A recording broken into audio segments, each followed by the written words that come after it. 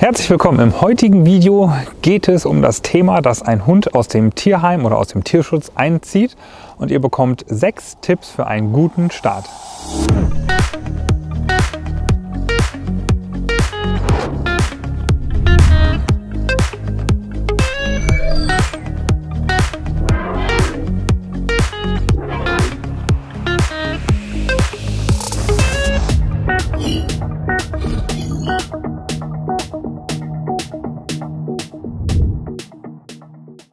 Fangen direkt an mit einer wichtigen Sache, nämlich den Hund am Anfang nicht überfordern.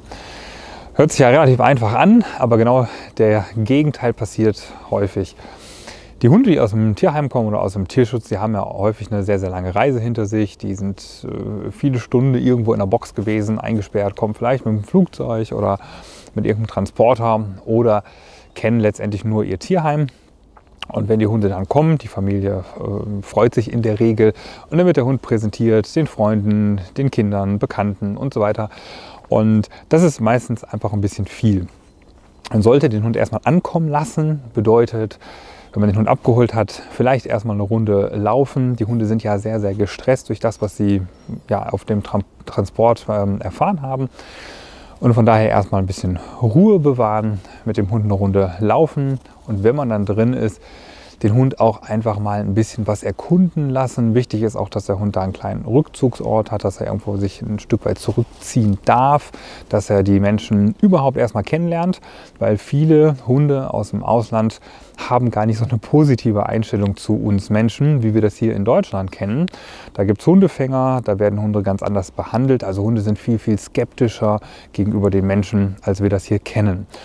Und da sollte man einfach auch ein bisschen drauf achten und den Hund erstmal ankommen lassen, ähm, sollte sich das Gelände angucken können oder auch die Wohnung. Und dann das Ganze nach und nach machen. Es gibt genügend Möglichkeiten, dem Hund die Welt zu zeigen.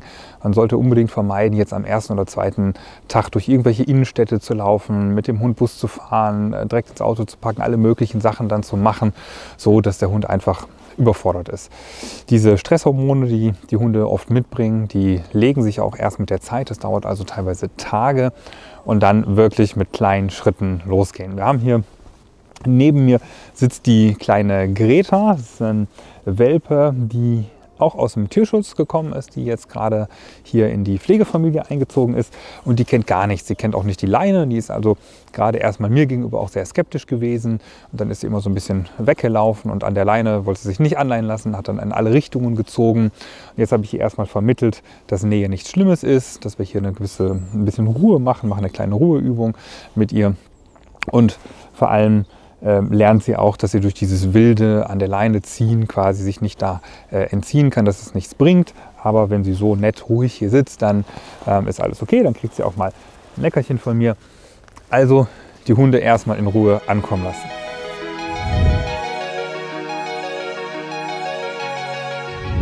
Tipp Nummer zwei ist denkbar einfach und für viele von euch vielleicht auch logisch. Aber ich sage es trotzdem, die Hunde am Anfang nicht ableihen. Und mit Anfang meine ich auch wirklich die ganzen ersten Wochen. Die Hunde haben ja in der Regel noch gar keinen Bezug zu euch aufgebaut. Und viele machen dann den Fehler, so nach den ersten Tagen oder nach der ersten Woche, dass wir mit dem Hund irgendwo hinfahren und sagen, naja, okay, der ist schon dreimal gekommen, wenn ich ihn gerufen habe äh, und hat sich ein Leckerchen abgeholt, dann wird der Hund abgeleint.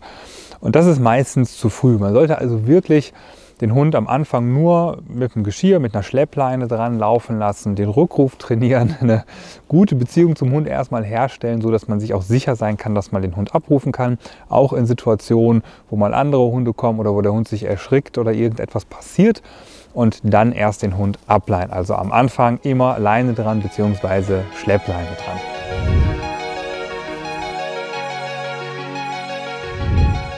Tipp Nummer drei: die Hunde richtig vergesellschaften.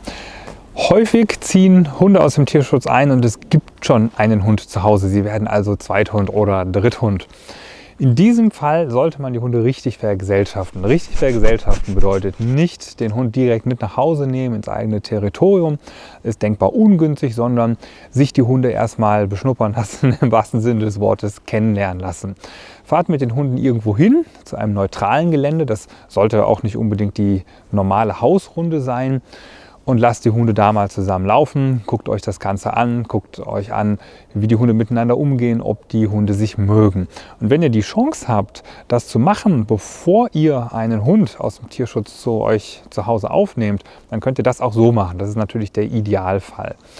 Wenn ihr euch das dann angeschaut habt, nehmt den Hund dann mit nach Hause, wenn ihr einen Garten habt, startet mit dem Garten und geht dann erst in die Wohnung. In der Wohnung, da sind häufig dann irgendwelche Sachen, äh, gewisse Ressourcen wie ein Futternapf, wie bevorzugte Liegeplätze, Spielzeuge oder irgendetwas anderes wo es doch mal Meinungsverschiedenheiten geben kann. Und da geht es auch darum, am Anfang drauf zu gucken, gibt es Meinungsverschiedenheiten, können die Hunde das konstruktiv lösen? Vielleicht funktioniert das wunderbar, es gibt gar kein Problem.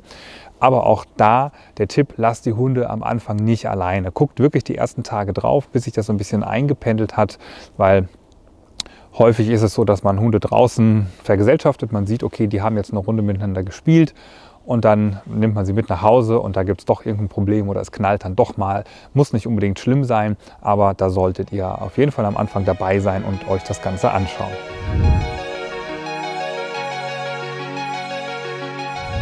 Tipp Nummer 4. Liegeplätze zuweisen oder besser gesagt einen festen Liegeplatz zuweisen. Die Hunde, wenn sie bei euch ankommen, sollten direkt einen festen Platz haben. Das hilft den Hunden zu entspannen.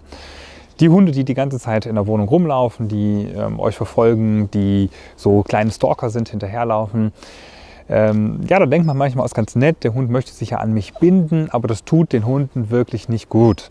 Also schaut, dass ihr den Hunden einen Liegeplatz zuweist, sie dort hinbringt und dass die Hunde dann auch entspannen können. Gerade dieses Ruhen und Entspannen ist für Hunde enorm wichtig. Sonst habt ihr nachher einen Hund, der äh, gar nicht zur Ruhe kommt, der die ganze Zeit durch die Wohnung rennt und das ist nichts Gutes. Hier jetzt nochmal eine Besonderheit, was Auslandshunde oder Tierschutzhunde betrifft. In der Regel kann ich mit Hunden sehr schöne Übungen machen und kann Grenzen aufzeigen. Wir machen das überwiegend ja körpersprachlich, also wir gehen auf den Hund zu, wir schränken den Hund ein, wir zeigen da kleine Grenzen. Wenn jetzt Auslandshunde zu euch kommen, ist es so, dass die häufig einfach ja, Menschen anders kennengelernt haben, dass sie Angst vor Menschen haben. Und da ist das nicht unbedingt das, was man zuerst machen sollte. Man sollte da versuchen, erstmal Vertrauen aufzubauen. Ich kann das auch über eine gewisse Ruhe machen über eine Fütterung, über eine Handfütterung am Anfang. Soll natürlich nicht dauerhaft gemacht werden, aber als ja, sogenanntes soziales Brückenglied kann ich das Ganze schon nutzen. Und was da super hilft, ist eine Hausleine. Das heißt, ich mache einfach eine Leine dran, die 1,50 Meter, 2 Meter lang ist. Die bleibt einfach die ganze Zeit dran. Verlässt der Hund sein Körbchen, dann nehme ich die Leine einfach hoch, bringe den Hund da wieder hin. Und so muss ich nicht direkt den Hund körpersprachlich einschränken. Das ist ja in einen Konflikt gehen mit dem Hund. Und das ist einfach nicht das, was ich direkt am Anfang machen möchte. Das sollte man in der Regel nach und nach natürlich machen, ist wichtig aber vielleicht nicht am Anfang. Am Anfang geht es ja darum, dass der Hund erstmal die Wohnung, die Menschen, alles positiv verknüpft, dass der Hund sich entspannt, ein Stück weit ankommt, habe ich ja schon gesagt. Und dann kann man nach und nach auch äh, anfangen, Grenzen aufzuzeigen. Bei der Wahl des Liegeplatzes solltet ihr darauf achten, dass dieser nicht an irgendwelchen strategischen Stellen ist, gerade in Familien, wo vielleicht Kinder vorhanden sind oder wo viele Leute hin und her gehen, nicht im Flur, sodass der Hund da alles überblicken kann oder dass er die ganze Zeit gestört wird sondern vielleicht irgendwo in einer Ecke, wo der Hund trotzdem am sozialen Leben teilhaben kann, aber dennoch so einen kleinen Rückzugsort hat. Das ist da ähm, ja auch einfach geeignet für die Hunde, dass sie da wesentlich besser entspannen können.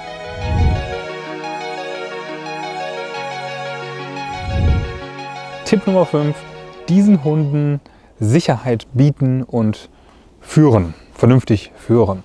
Das ist eines der größten Missverständnisse, dass man bei ängstlichen Hunden dann glaubt, ja, okay, sie brauchen besonders viel Zeit und man muss ähm, ja, sich besonders auf sie einstellen und macht dann sehr, sehr viele Abstriche. Und der Gegenteil ist der Fall. Natürlich brauche ich da Geduld und natürlich muss ich mich auch auf einen solchen Hund einstellen. Aber solche Hunde sollten auch geführt werden. Wenn ich als Mensch den Hund führe, wenn ich Verantwortung übernehme, wenn ich Situationen regel für den Hund, dann orientiert der Hund sich an mir, überlässt mir die Verantwortung und das führt letztendlich auch zu einer Reduktion von Stress bei dem Hund und hilft dem Hund mit seinem Menschen gemeinsam durch den Alltag zu gehen. Und das sind kleine Sachen, womit man anfangen kann, beispielsweise mit der Leinführigkeit. Auch da kann ich schon damit anfangen, dass ich irgendeine Regel vorgebe, dass ich sage, so du äh, läufst nicht in alle Richtungen links, rechts, äh, vorne, sondern du läufst hinter mir oder du läufst neben mir an einer kurzen Leine. Äh, ich gebe die Richtung vor, ich begrüße andere Menschen zuerst, ich begrüße andere Hunde zuerst. Das lernen Hunde sehr, sehr schnell. Natürlich kann man dann, wie gesagt, eine Schleppleine dran machen und die Hunde dann auch mal äh, laufen lassen. Sie brauchen ja auch mal ein bisschen mehr äh, Bewegungsspielraum. Aber am Anfang kann ich schon versuchen zu führen. Das heißt auch den Hund ein bisschen in der Bewegung einzuschränken. Aber auch das, wie ich beim Liegeplatz gerade schon gesagt habe, natürlich ein bisschen sensibel machen und gucken, was habe ich da für einen Hund, welche Beziehung hat der überhaupt zu den Menschen, beziehungsweise was hat er kennengelernt.